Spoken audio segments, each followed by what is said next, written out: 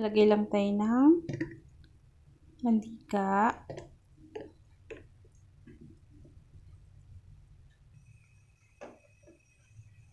Yung ating sibuyas. Ayan. Puti lang natin.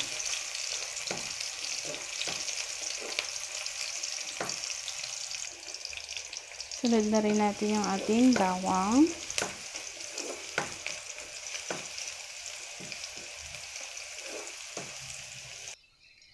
Sunod na rin natin yung ating baboy. Ilagay na rin ako ng paminta. Haluin lang natin.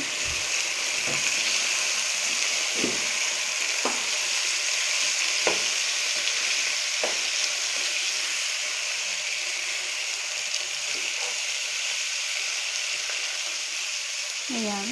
Hayaan lang muna natin guys na medyo maprito yung ating baboy. Ayan guys, medyo brown na yung ating karne pero dapat mas brown pa dyan. Kaya, ayan lang muna natin. Ayan guys, medyo brown na yung ating karne. Maglagay na tayo ng toyo. Ayan. Lalagay ko na din yung ating dahon ng laurel. Haluin lang natin.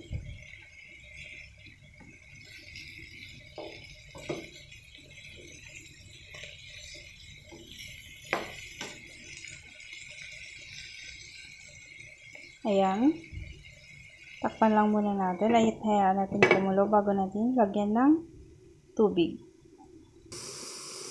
Ayan. Tanggalin na muna natin yung ating takip.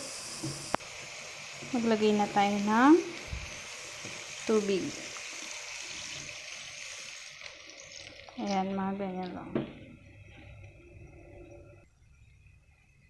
Ayan, takpan natin uli at pakuluin lang natin hanggang sa lumabot yung ating baboy. Sa mahinang apoy lang guys natin palalambutin yung ating karne para mas mabilis tong lumambot.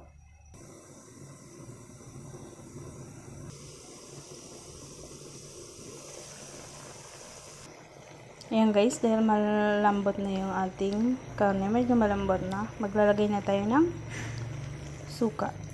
So, ang ginagawa ko guys, tansya-tansya lang yung paglagay ko ng mga sangkap. Ayan, takpan lang natin ulit.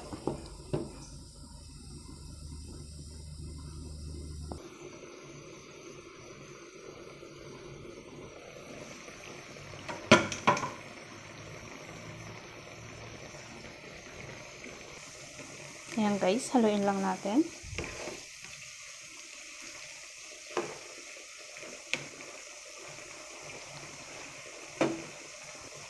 Ayan, tikman na natin kung tama na yung ating timpla.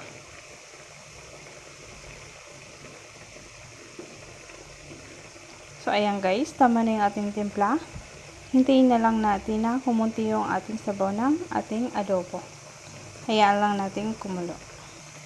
Maglalagay din pala ako guys ng dalawang kutsarang asukal para may konting tamis yung ating adobo. Ayan, dalawa lang. Haluin lang natin. Ayan. Yung asukal pala guys, kahit hindi puti, yun kasi yung available dito sa bahay, white sugar, kaya yun yung nilagay ko. Pero kung yung brown, mas better nga yun ilagay natin sa ating adobo. So, ayan. Hayaan lang natin. Ayan guys. Pag konti na yung sabaw ng ating adobo, ilagay na natin yung ating mushroom. Yung mushroom guys, ito lang yung nabibili sa grocery. Yung nakalata lang to at yung buo. Tapos hiniwa ko lang siya ng dalawa. Ayan. Hiniwa ko lang sa gitna. Ayan. Haluin lang natin. At hayaan muna natin kumulo.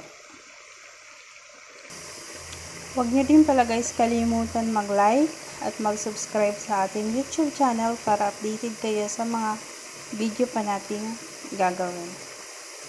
So, ayan. Medyo konti na yung ating sabaw ng adobo.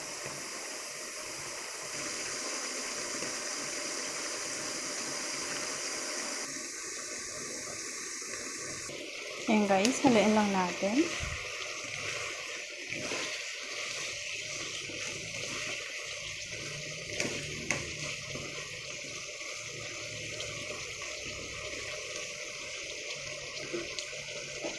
Ayan guys, okay na to. Ayan, tapos na ang ating adobong baboy na may mushroom. So, ayan, patayin na natin yung apoy.